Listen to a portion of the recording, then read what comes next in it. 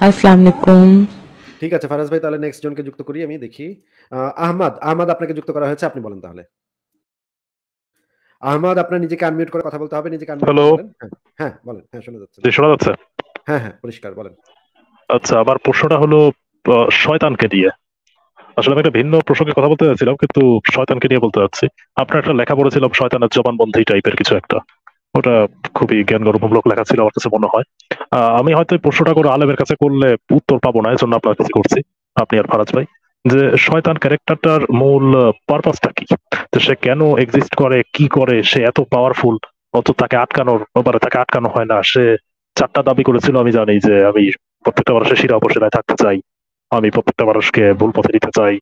তো এই জিনিসগুলো তার দাবি ছিল এবং সেগুলো গ্র্যান্ট করা হয় এবং সে অনন্তকাল ধরে এই কাজটাই করে যাচ্ছে। একই সাথে সর্বত্র বিচরণ করতে পারে। তারপরে সে নাকি সন্ধ্যার পরে, সূর্যাস্তের পরে আধা ঘণ্টা পর্যন্ত থাকে এবং ওই টাইমে বাইরে গেলে শয়তান ধরতে পারে। তো এত পাওয়ারফুল একটা ক্রিচার কিন্তু এর ব্যাপারে সত্যি কথা বলতে কোরআন, হাদিস বা বিভিন্ন জায়গায় সেরকম মেনশন নেই। খালি একটাই কথা যে তোমাদের খারাপ কাজ করাবে, খারাপ কাজ করাবে। তো এত সুপার পাওয়ারফুল একটা ভিলেন মানে তার তো ক্যারেক্টার আরও বেশি থাকা উচিত ছিল। এখানে কি মনে হয় একটা লজিক্যাল ফ্যালাসি টাইপের কিছু আছে? আমি কি আপনাদের কাছ থেকে জানতে চাই যে আপনাদের ভিউটা কি শয়তানকে নিয়ে? লজিক্যাল ফ্যালাসি আছে এটা তো আমি আমরা আমি বলব না। লজিক্যাল ফ্যালাসি এখানে আসলে প্রয়োগ হয় না। লজিক্যাল ফ্যালাসি যেখানে যেখানে প্রয়োগ হয় সেটার স্পেসিফিক জায়গা আছে কোন জায়গায় সেটা প্রয়োগ হয়। কিন্তু এখানে এই জিনিসটা তো পরিষ্কারভাবে বোঝা যায় যে এই গল্পটা একটা মিথ্যা গল্প বানানো গল্প। প্রাচীন প্রাচীনকালের কিছু উপকথা থেকে এই জিনিসটা বানানো হয়েছে। যেমন একটা কথা বলি দেখেন শয়তানও হচ্ছে গিয়ে আল্লাহর একজন সাগরেদ ছিল আহ, জিব্রাইলও সাগরেদ ছিল আজরাইলও সাগরেদ এরা এরা সবাই সাগরেদ আল্লাহ পাকের হ্যাঁ মন্ত্রিসভার এক একজন মিনিস্টার ঠিক আছে? এখন জিব্রাইল নাকি একবার মোহাম্মদের মোহাম্মদ আহ, দের কাছে ওহিনী আসছে কিন্তু জিব্রাইল নাকি ঘরে ঢুকতে পারে নাই। ওই যে ঘরের ভিতরে নাকি কুকুর ছিল আয়সার খাটের নিচে নাকি কুকুর ছিল কুকুর দেখে নাকি জিব্রাইল এমনই ডরান ডরাইছে ঘরে ঢুকতে পারে না।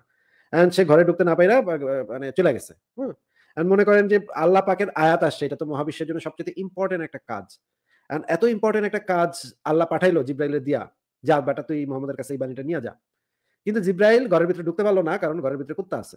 আয়েশার খাটের তলে কুত্তা আছে। এই জন্য জিব্রাইল এমন ডরান ডরাইছে আর ঢুকতে পারে না। এবং সে আল্লাহর আদেশ অমান্য করে আবার ফেরত চলে গেছে। পরে গিয়ে মোহাম্মদের সাথে আবার দেখা হয়েছে। মোহাম্মদ জিজ্ঞেস করে, কি ব্যাপার তুমি না ওই দিন আসার কথা ছিল, আসলা না যে? আয়াত নিয়ে আসলা না, আইলা না যে? তখন জিব্রাইল বলতেছে যে, আমি তো ঘরে কুত্তা ছিল এই জন্য ঢুকতে পারিনি।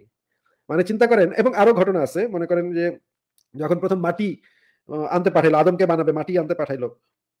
এখন এরা নাকি ফেরেস্তা একটা ফেরেস্তারে পাঠায় সে নাকি ফেরত আসে, মাটি নাকি না করে দিছে, আর দিবে না। এটা বা- এটা যায়, সে যায় অমুক ফেরেস্তা যায়, তমুক ফেরেস্তা যায়, শেষে গিয়ে নাকি আজরাইল গিয়া নাকি মাটি আনছে। মাটি আনার পর সেটা দিয়ে নাকি আদমরে বানাইছে। এখন চিন্তা করেন, আল্লাহ পাক একটা হুকুম দিছে। ফেরেস্তাদের কোনো মানে কোনো ইয়াই নাই। মানে পাত্তাই দিচ্ছে না হ্যাঁ মাটির সাথে গিয়ে তর্ক করতেছে। বেটা, মাটি তুই বেটা, মাটি, তোর এত বড় সাহস তুই আল্লাহ, তোর, আল্লাহ বলছে তোর তোর এখান থেকে মাটি নিয়ে যেতে তুই বেটা কইতেছিস, দিমু না। ফাইজ নামি নাকি? ফেরেস্তারা মানে মাটি না নিয়ে। মাটি কোন অর্গানটা দিয়ে কথা বলছিল ভাই? সেটা না হয় ধরে নিলাম ঠিক আছে মাটির কথা কইছে ধরলাম হ্যাঁ তাও ধরে নিলাম। কিন্তু তারপরে দেখেন আল্লাহর আদেশ অমান্য করে ইয়া মানে ফেরেস্তা খালি হাতে বেকুবের মতো ফেরত চলে আসে মাটি নাকি দেয় দেয়নি মাটি নাকি আসেনি এন্ড চিন্তা মাটি এই- হ্যাঁ আপনি মাটি- মাটি আপনি consent মাটি দেয়। কনসেন্টের দাম না তাহলে। মানে আপনার কাছে আল্লাহর কনসেন্ট গুড এনাফ বাট মাটি কনসেন্ট না দিলে আপনি মানে মাটির কনসেন্টের মূল্য নাই আপনার আলটিমেটলি আপনার কাছে তো। তারপরে দেখেন মিকাইল ফেরেস্তা মিকাইল ফেরেস্তা কি করে? যেখানে বৃষ্টি দরকার নেই সেখানে বৃষ্টি দিয়ে ভরে রাখে। যেখানে বৃষ্টি প্রয়োজন মানুষজন মরতেছে সেখানে তার বৃষ্টির কোনো খোঁজ খবর নাই।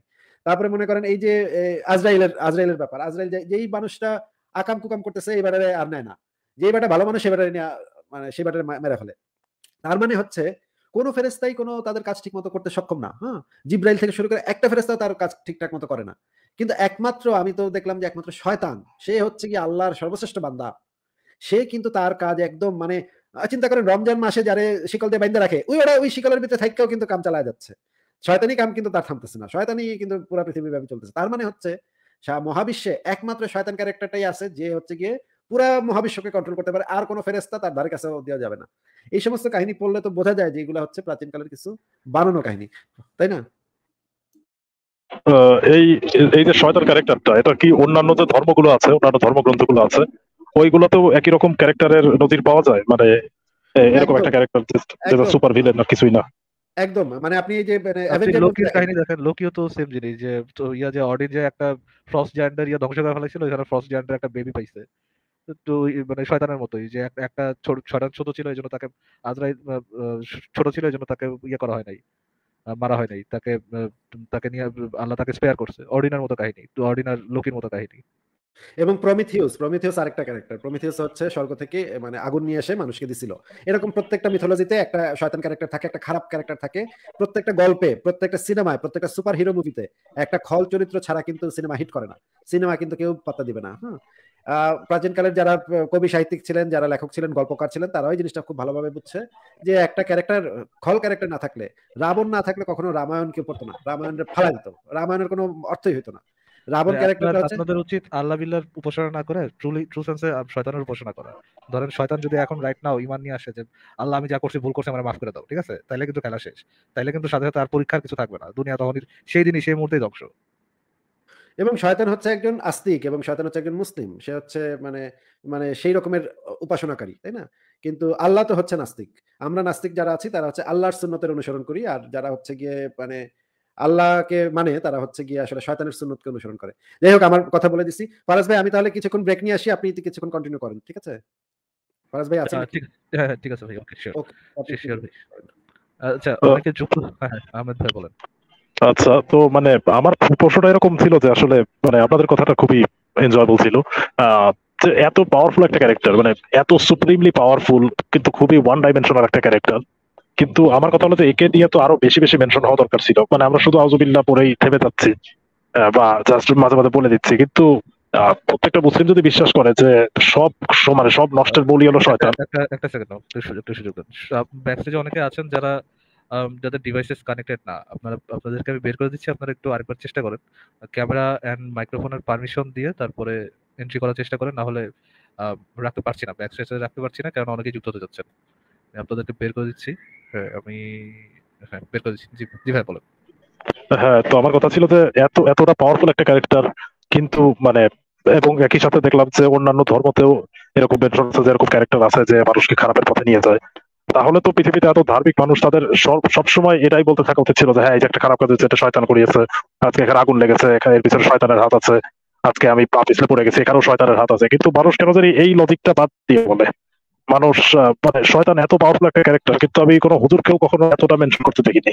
তো আমার কথা হলো যে দেখেন ইসলামে ইসলামের কনসেপ্ট অনুযায়ী মানে শয়তান মানুষকে খারাপভাবে ইনফ্লুয়েন্স করে এইটার পাওয়ার আছে। বাট বিপদের সৃষ্টিকারী তো আল্লাহ নিজেই। মানে শয়তান থেকেও মোর ভিলেনাস ক্যারেক্টার আল্লাহ, আল্লাহর ক্যারেক্টার দেখলে মানে আল্লাহর ক্যারেক্টার দেখলে আপনি অ্যানালাইসিস করবেন যে শয়তান শয়তান থেকেও মোর ভিলেনাস ক্যারেক্টার হচ্ছে আল্লাহ নিজেই। বিপদ আপদ সৃষ্টি করছেন মানে পৃথিবীর যত বিপদ মহাবিশ্বে যত বিপদ আপদ আসে, সকল কিছু তিনি আগেই সৃষ্টি করে রাখছেন। এমন না যে শয়তান শয়তান দিয়ে সৃষ্টি করছে না। তার ক্রিয়েশন এটা আগে থেকেই করা আছে। অ্যান্ড বাট এই জিনিসটা বলেন না কেন, এই জিনিসটা ওনারা বলে না কেন? বিকজ আল্লাহ শুধুমাত্র ইভেল ক্যারেক্টার এরকমটাই না। আল্লাহ একটা আল্লাহ একটা সাইকোপ্যাথ লেভেলের ইভেল ক্যারেক্টার যেখানে আপনি তাকে যদি বলেন ইভেল ক্যারেক্টার হিসেবে তাকে সম্বোধন করেন, যেহেতু সে আপনার সৃষ্টিকর্তা, সে সে মালিক, আপনি দাস, আপনাকে যেভাবে ইচ্ছা সেভাবে সে মানে ইয়ে করতে পারে আপনার অবস্থান ওইখানে দিতে পারে। ধরেন আপনাকে ইচ্ছা হইল আপনাকে সারা জীবন ধরে সে পুরাবে সারা জীবন ধরে রোস্ট করবে আজীবন অনন্তকাল ধরে সে আপনাকে টর্চার করে যাবে। তার এটা রাইট আছে এবং এটাই যে একটা যৌক্তিক পজিশন এটাই মুমিনরা মানে। সো ওই ক্যারেক্টার যত ইভেল হোক না কেন যত ইয়া হোক না কেন যে আপনারা যখন দেখেন আগুন দিচ্ছে সবাই কেউ যে কিন্তু শয়তানকে দোষ দিচ্ছে না। সবাই যে বলছে হে আল্লাহ তুমি আমার রিজিক নিলা হে আল্লাহ তুমি এই করলা হে আল্লাহ তুমি এই করতেছো বিপদ আপদ আসে আল্লাহর পক্ষ থেকে পরীক্ষা রাইট আপনার তো এই জিনিসগুলো শুনছেন। তারপরেও বিপদ আপদ হ্যাঁ। যতই আসুক ধরেন আমার আমার বেবি এখন মারা গেল। আমি কি বলব? এটা আল্লাহর পক্ষ থেকে পরীক্ষা। আমি কিন্তু বলব না যে শয়তান কাজ করছে না। জীব- জন্ম মৃত্যুর একমাত্র মালিককে আল্লাহ। বিপদ ইয়ে করে কে? টেস্ট করে কে? আল্লাহ। গজব দেয় কে? আল্লাহ। এই ইভেল জিনিসগুলো আল্লাহ থেকে আসতেছে। শয়তান এরকম শয়তান এত বড় শয়তান ক্যারেক্টার না, যত বড় শয়তান ক্যারেক্টার আল্লাহ নিজে। আপনি বুঝতে পারছেন? এবং সে এত বড় সাইকোপাথ যে আপনি তার সামনে তার বিপরীতে মুখ খুলতে পারবেন না। এবং মেনে নিতে হবে যে তার এটা করার রাইটও আছে। শয়তান শয়তান সেখানে আল্লাহ আল্লাহর পয়েন্ট অফ ভিউ থেকে শয়তান তো ফেরেস্তা জি, আর আমার লজিক্যাল ফ্যালাসি জায়গাটা এটা ছিল তখন বলতে মানে মনে নেই যে শয়তান এত মানে শয়তানকে এত ক্ষমতা দেওয়া হচ্ছে এরকম এবং আল্লাহ চান যে তার বান্দারা প্রত্যেকটা বান্দাই তার ইবাদত করুক। যখন ইবাদত করে না তখন তিনি রেগে যান ক্ষুব্ধ হন এবং একজনের শাস্তি আরও পুরো পরিবারের উপর চাপাই দেন এরকম আছে। কিন্তু এটা তো একটা চুটকির ব্যাপার যে তিনি তার শয়তানকে অফ করে দিলেই সবকিছু অফ হয়ে যায়। আমার কথা হলো যে লজিক্যাল ফ্যালাসি কি এটা একটা না? যে তিনি চাইলেই শয়তানকে বন্ধ করে দিতে পারেন এবং সবাই ফেরেস তাদের মতো তার উপাসনা করতে থাকবে। আপনি আপনি হয়তো এইভাবে বলতে পারেন কথাটা যে যেহেতু আল্লাহ হচ্ছে অমনি বেনাভলেন্ট ক্যারেক্টার পরম করুণাময় অসীম দয়ালু ক্যারেক্টার এবং তিনি চান না যে ইভেল হোক অবশ্যই একজন পরম করুণাময় অসীম দয়ালু ক্যারেক্টার ইভেল হোক এই জিনিসটা চাবে না। চাইলে সে পরম করুণাময় অসীম দয়ালু ক্যারেক্টার সে হতে পারে না। এই পয়েন্ট অফ ভিউ থেকে তার অবশ্যই উচিত ছিল শয়তানকে অফ করে দেওয়া। কিন্তু উনি এটা করতেছেন না। যেহেতু শয়তান শয়তান মানে ওই প্রবলেম অফ ইভেল আর কি আপনি প্রবলেম অফ ইভেলে সুন্দর মতো শয়তানকে এখানে ফেলাতে পারেন এবং সুন্দর বলতে পারেন যে হ্যাঁ শয়তান থাকাটা একটা আল্লাহর জন্য একটা ফেলাসাস পজিশন এই জিনিসটা বলতে পারেন হ্যাঁ। জি এটাই। যাক এটাই আমার প্রশ্ন ছিল অন্য কাউকে যুক্ত করুন। ধন্যবাদ। ধন্যবাদ যুক্ত হওয়ার জন্য। তাহলে ভালো থাকবেন আমার সাথে ঠিক আছে। আচ্ছা নেক্সট কাকে যুক্ত করা যায়? আচ্ছা